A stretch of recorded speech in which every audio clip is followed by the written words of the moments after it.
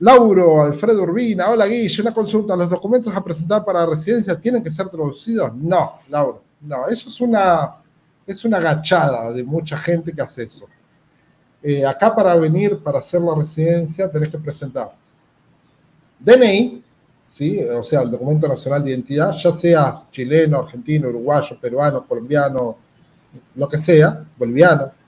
Vos tenés que presentar tu documento nacional de identidad si es que con ese documento entraste a la frontera. O sea, si vos entras con pasaporte, vas a tener que presentar el pasaporte. Si no, vas a tener que entrar, presentar tu documento nacional. ¿Ok? Uno. Dos, tu acta de nacimiento. ¿Sí? Pero no es la acta que te dieron cuando vos naciste o la que te dieron cuando tenías ocho años. Tenés que ir a donde corresponde en tu país y pedir una acta nueva. El papel tiene que ser nuevo, actualizado. ¿Sí? Esa acta de nacimiento tenés que llevarla a un colegio de escribanos o en algún lugar que le haga apostilla de la Haya.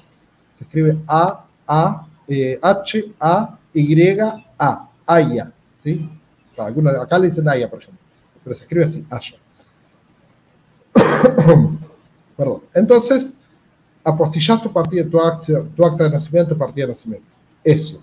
Y además de eso, tenés que pedir antecedentes criminales que sí tienen que estar apostillados y con un plazo menor a 90 días desde que lo sacaste. Entonces, quiere decir que si vos vas a llegar acá un día primero de diciembre, por decir vas a pisar, vas a cruzar la frontera el primero de diciembre, más o menos el día 15 de noviembre, los 15 días antes, entra en contacto a donde, donde necesites y pedís tu, tu, tu certificado de antecedentes penales en países que, o lugares que tarda un día, dos días, hay otros que tarda una semana para hacerlo. Entonces, por eso les digo ese plazo de más o menos 20 días.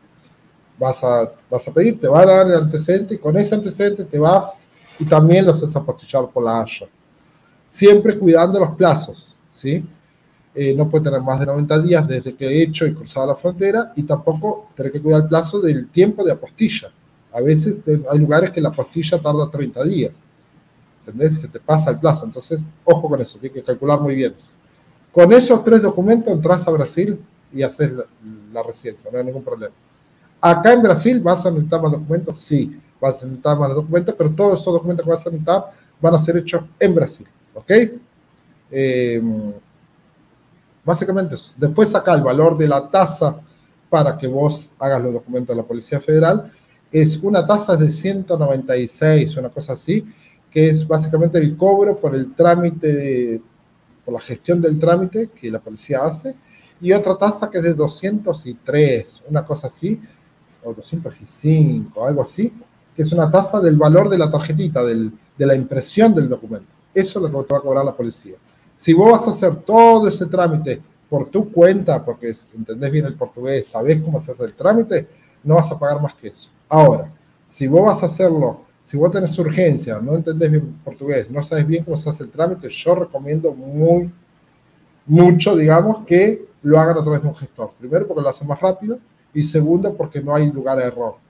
Lo difícil es que muchas personas quieren economizar en el gestor, lo hacen por su cuenta, lo hacen equivocado, consiguen el turno, que es lo más difícil, se presentan, de golpe conseguís el turno, por ejemplo, hoy están dando turnos para octubre yo hablé con el gestor hoy, hoy están dando turnos para octubre en Itachi. Entonces vos llegas hoy, presentas todo, recién en octubre vas a tener un turno. Estamos hablando de septiembre, octubre, es un mes, 30 días, está tardando el turno.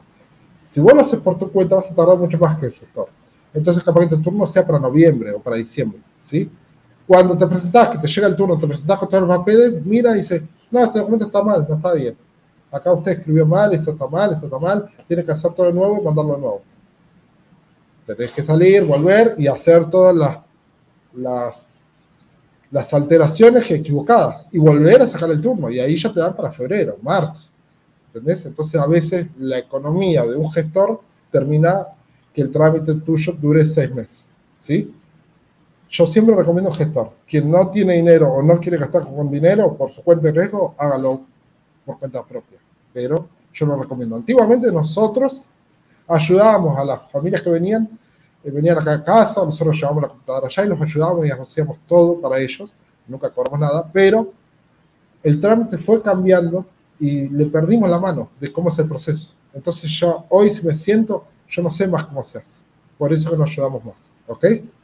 Gabriel, hola Guille, nosotros vamos con ahorros para un año. Me voy a poner una barbearía. Mi esposa estudió mucho community manager. Está avanzando el tema del manejo de redes allá. ¿Hay trabajo? Bien, Gabriel. Buena pregunta esa. Mira, eh, ustedes tienen dos profesiones que te diría que son number one en cualquier área. O sea, barbearía acá funciona muy bien, muy, muy bien.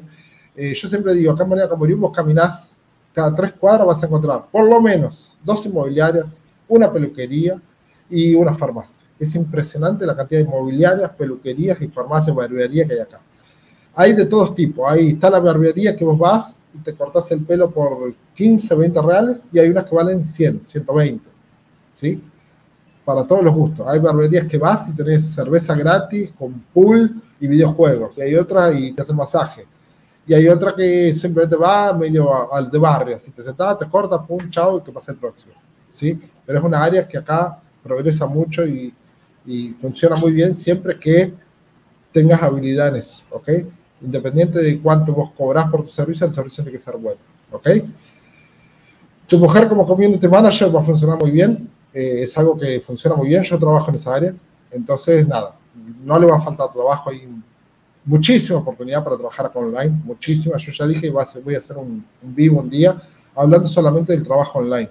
Eh, yo trabajo hace más de 10 años online. Eh, funciona muy bien, muy, muy bien. Principalmente después de la, de la pandemia, de la pandemia, pandemia, pandemia, pandemia, creo que se dice pandemia en español.